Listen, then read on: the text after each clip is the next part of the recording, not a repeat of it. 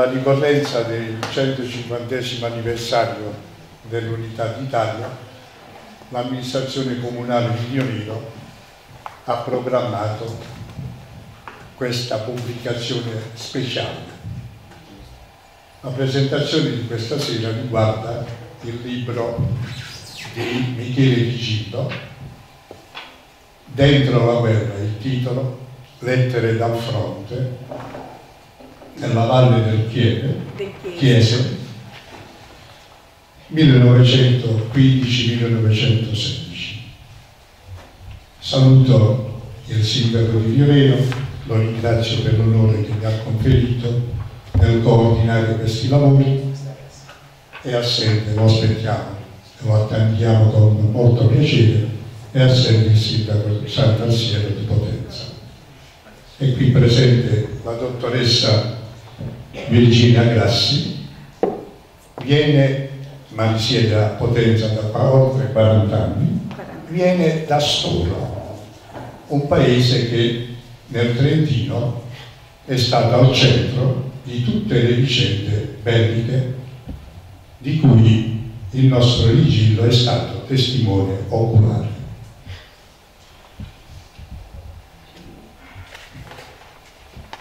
Saluto il professor Antonio Lerda della Università degli Studi di Basilicata e saluto ovviamente il professore Donato Martiello che è autore di un saggio storico che è parte integrante di questo libro. Leggo, sempre per porgere doverosi saluti, questa lettera proveniente dal comune di Storo, in data 15 febbraio 2011 al comune di Ionino in Vulture. Facciamo seguito alla cortese telefonata del vostro vice sindaco Vito D'Angelo, che è assente, giustificato e a Milano per motivi di lavoro. Intercorsi questi rapporti giorni fa con il nostro assessore alla cultura, nella quale ci veniva rivolto l'invito a partecipare alla presentazione del libro Dentro la guerra. La pubblicazione di questo volume storico, che ha visto la compartecipazione anche del nostro comune, rappresenta l'espressione di quanto i rapporti umani, condivisi tra comunità diverse e lontane in un periodo storico tormentato dalla guerra, assumano grande valenza al punto di sfociare in un progetto memoria che consolida nel tempo il nostro patto di amicizia. Pur essendo apprezzato l'invito, ad oggi né il sottoscritto né altri rappresentanti della Giunta possiamo essere presenti all'evento causa svariati impegni. Ringraziamo sentitamente auspicando durevoli e dinamici rapporti futuri. Porgo cordiali saluti il sindaco cavaliere Vigilio Giovannelli. Giovannelli. Questa iniziativa, meritoria come tante altre di questa amministrazione, vuole rendere omaggio alla figura di uno dei figli migliori di Ionero, Michele Arcangelo Licino, deceduto nel 1958, testimone, dicevo poco fa, di drammatiche vicende della Prima Guerra Mondiale. La strada che questa amministrazione percorre da tempo è quella di investire in cultura, considerata sicuramente volano di crescita di questa comunità e anche occasione di recupero della sua identità. Bene, questo libro per il suo contenuto è un contributo notevole proprio al rafforzamento di questa identità i sostenitori convinti di questa pubblicazione sono stati tre sindaci, quello di Storo, di Potenza e di Lionello, i quali si sono avvalsi della collaborazione della qui presente dottoressa Grassi, del professore Martiello e del professor Gianni Poletti, assente anche lui ovviamente da Storo, il quale ha ordinato cronologicamente le lettere e ha scritto l'introduzione al sindaco di Storo e al professor Poletti va il nostro saluto e la nostra gratitudine. Questa pubblicazione è un fatto eccezionale. Non è di tutti i giorni, infatti, trovare più persone che, pur con culture diverse, lavorino in sinergia e ottengono risultati eccezionali, quale, a mio modesto umile parere, è questa pubblicazione. Evidentemente hanno lavorato insieme persone di grande cultura e di nobile sentire comune. Ora, come si sia giunti a questa pubblicazione, lo sapremo attraverso gli interventi che presto seguiranno. Io mi limiterò soltanto a dire questo per dovere di informazione, sia pure in sintesi. Le lettere di Ligillo qui raccolte sono 29, indirizzate tutte a Giustino Fortunato. Il senatore Giustino Fortunato, come risposta, ne scrisse soltanto 27. Che rapporto c'era tra Ligillo e Fortunato? Ligillo era un professore che nel 1914 con la sua famiglia da un istituto tecnico di Matera si trasferì a, a, a Torino, scusate, evidentemente per occupare lì una cattedra di lettere. Pare che sia stato lo stesso Fortunato che prese a cuore quel giovane a sollecitare questo trasferimento.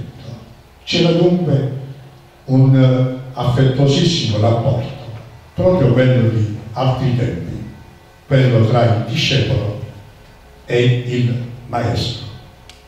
Questo, in questo caso l'insigne maestro Giustino Fortunato, il quale riceveva queste lettere proprio qui, in questa casa, in questo palazzo austero, e le leggeva queste lettere ai suoi amici più fedeli, più cari.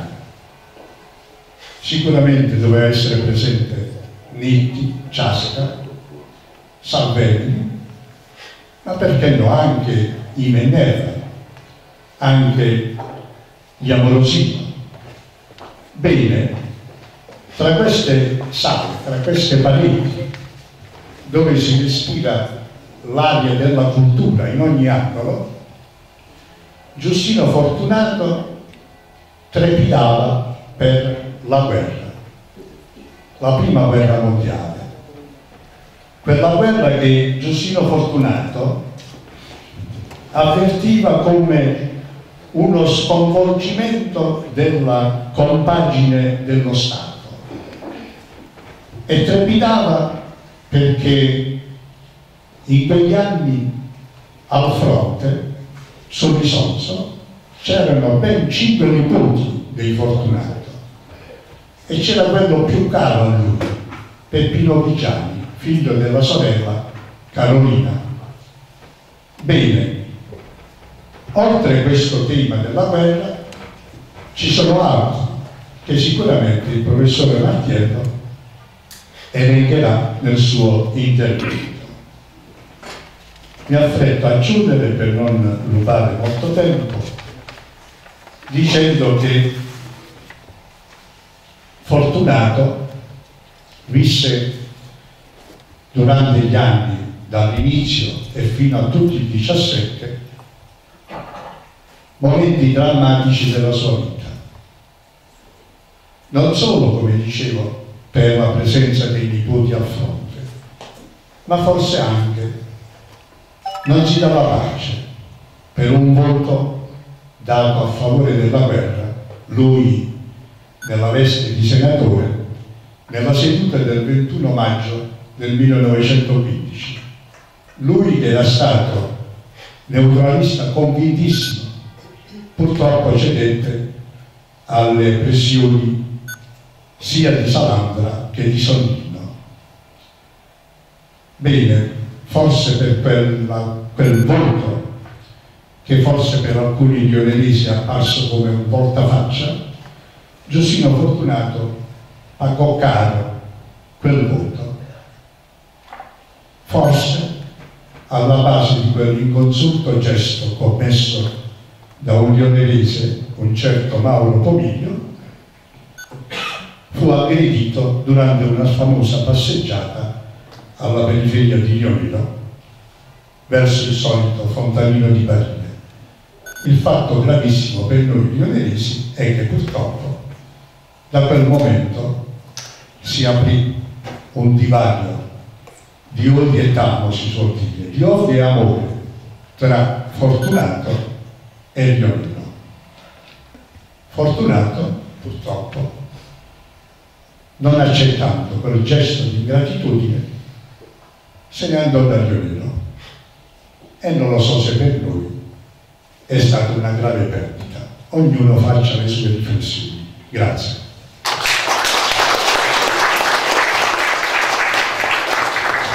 Cedo la parola al sindaco di Lionino per gli obblighi saluti. Grazie. Volevo in primo luogo giustificare l'assenza del sindaco di Potenza, di Sant'Arsiero, che aveva probabilmente per un errore di comunicazione annotato un'altra data, eh, è impegnato in un incontro presso la Regione e ci fa sapere se riesce a rendere compatibili gli orari raggiunge. Eh, in secondo luogo sono stato liberato dal professor Pronto da tutti i doveri connessi al, agli onori de, di casa eh, tradizionali e canonici per cui posso essere ancora più breve.